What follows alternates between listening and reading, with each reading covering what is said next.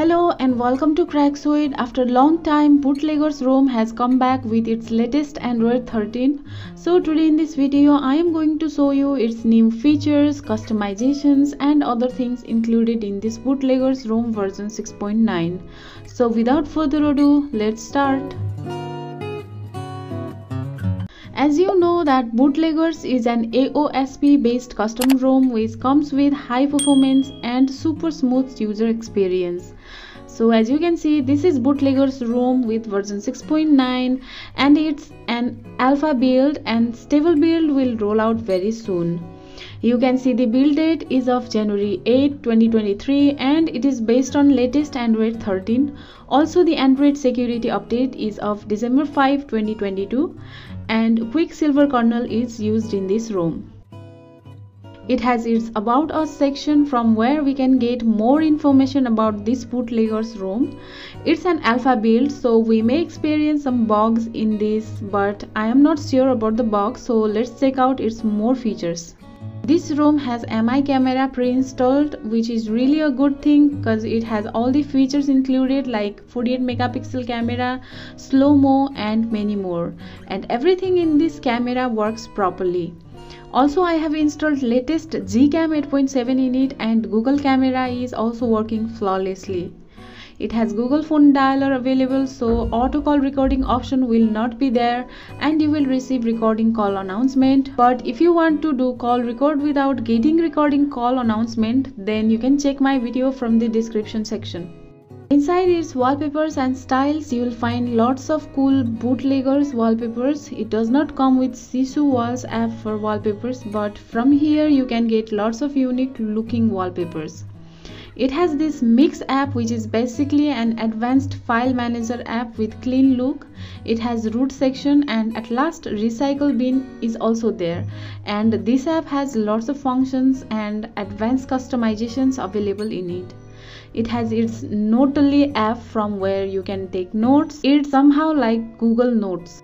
This bootlegger's ROM comes with very few pre-installed applications and G apps are included in it.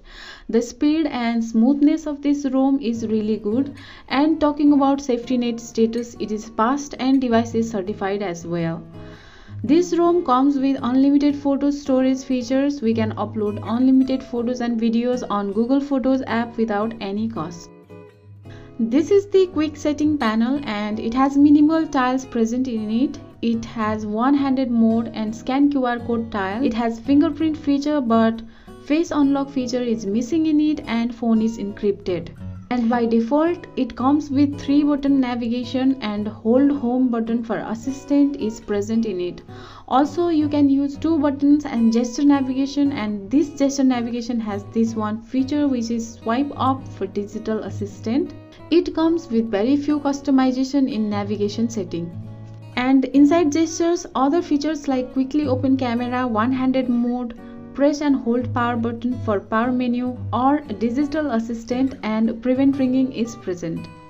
And this does not have Xiaomi parts features as well. And inside battery setting there is battery uses battery saver battery manager and battery percentage options. You can see its battery uses graph and it has no any battery drainage problem battery backup is also good it has its own bootleg dumpster section where some customizations are available.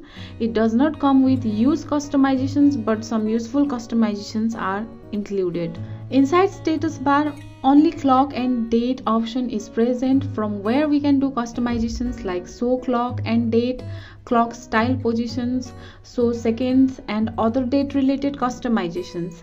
Inside its lock screen, there is lock screen clock font option present and from here we can choose any font style for lock screen clock.